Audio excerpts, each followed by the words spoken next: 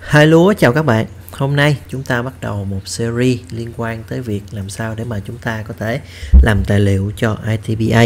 Thì à, việc làm tài liệu nó không có phải là một cái vấn đề mà BA nào cũng thích và làm tài liệu nó khá là ngán tại vì nó dài, nó mất thời gian nhưng mà các bạn nên hiểu, cái việc mà các bạn làm tài liệu, nó là một cái việc cực kỳ quan trọng. Series này sẽ giúp cho các bạn làm sao để mà cái cách mà chúng ta tư duy một cách đơn giản nhất khi mà làm tài liệu, nó là một cái công việc nó nhẹ nhàng, nó thoải mái, nó không có nặng nề.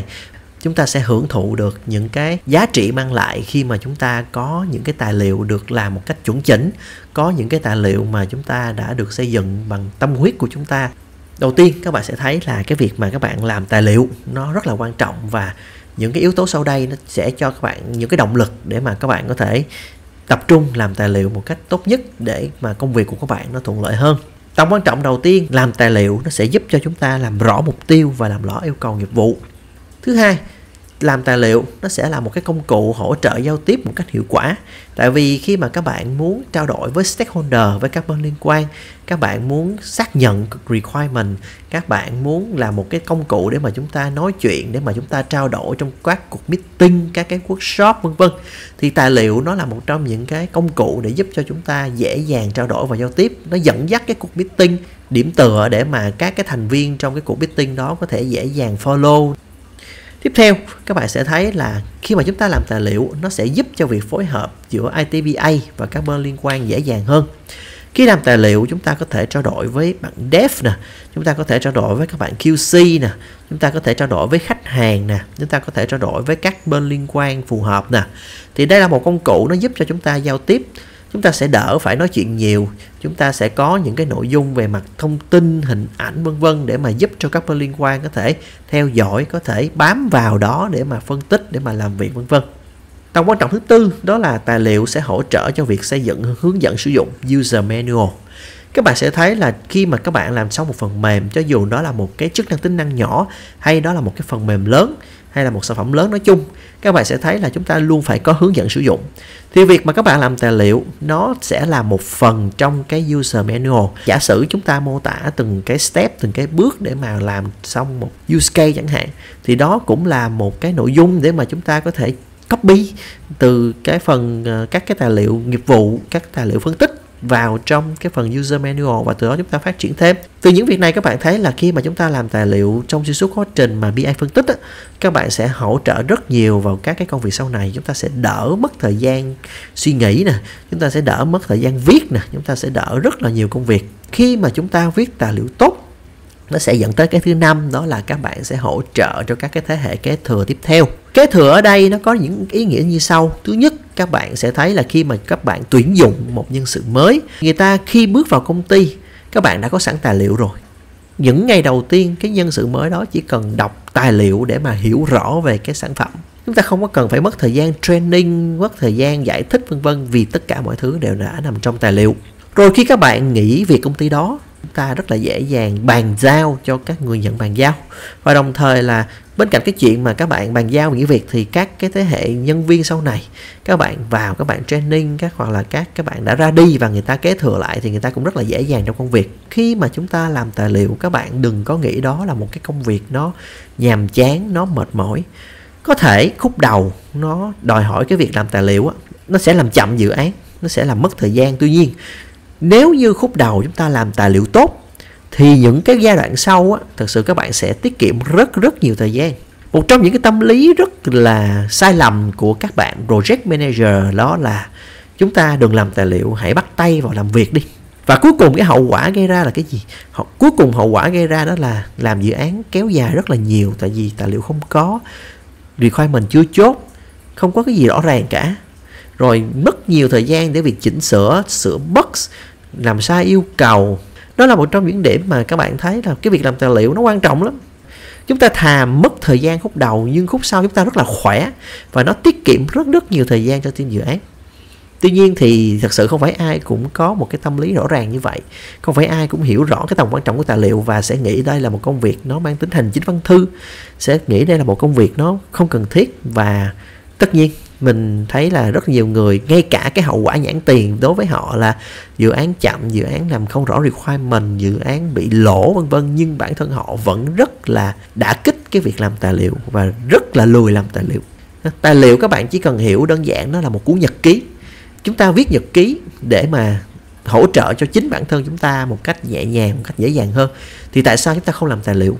Mà chúng ta lại đả kích nó, chúng ta là bại trừ nó cho dù là waterfall hay là agile, tất cả mọi thứ đều đòi hỏi chúng ta làm tài liệu. Và một trong những điểm mà mình thấy là kêu làm agile là không làm tài liệu.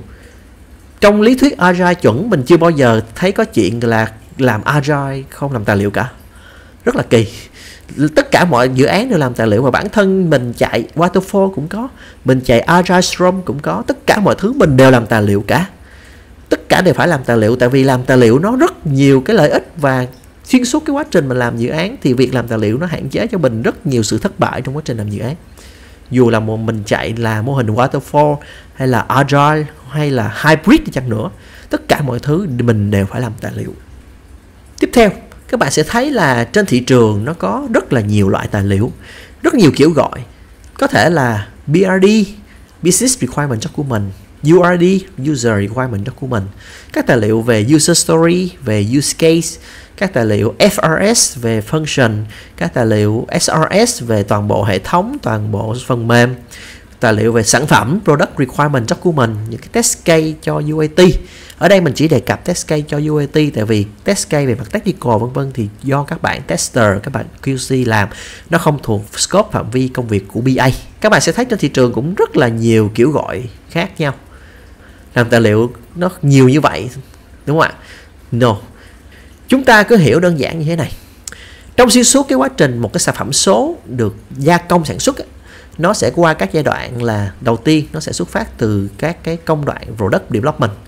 Sau đó nó sẽ chuyển qua giai đoạn business analysis system analysis test và triển khai.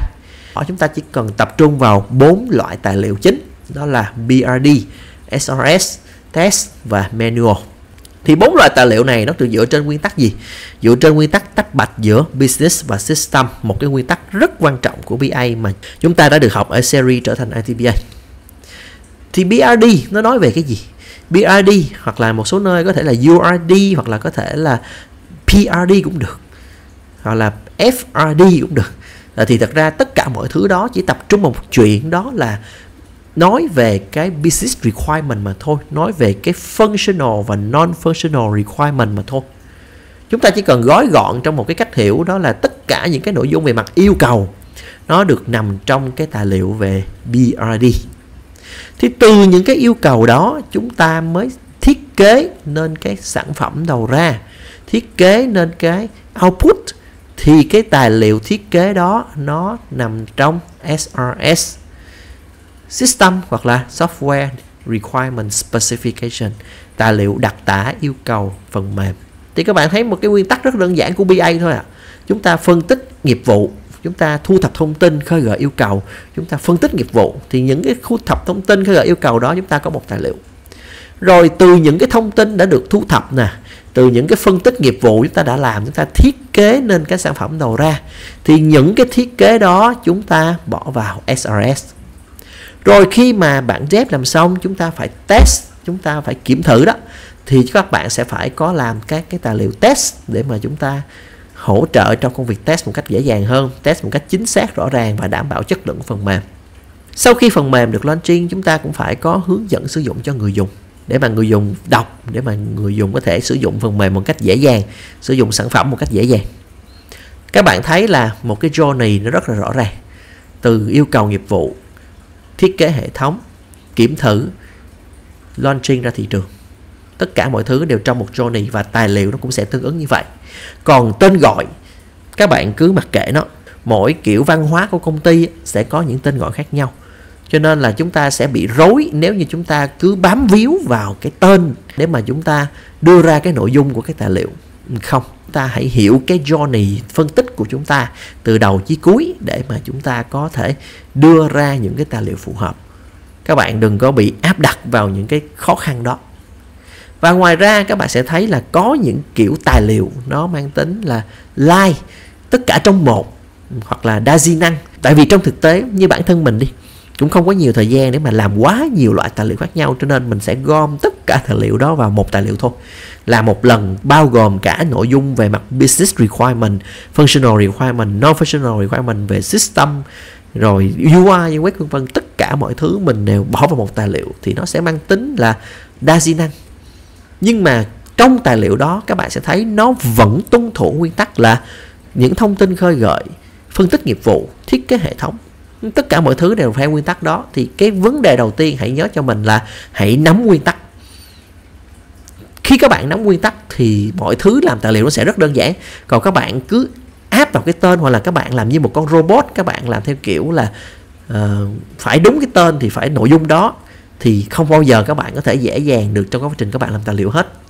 Từ việc tách bạch đó các bạn sẽ thấy là chúng ta sẽ có những cái tư duy viết tài liệu như thế nào.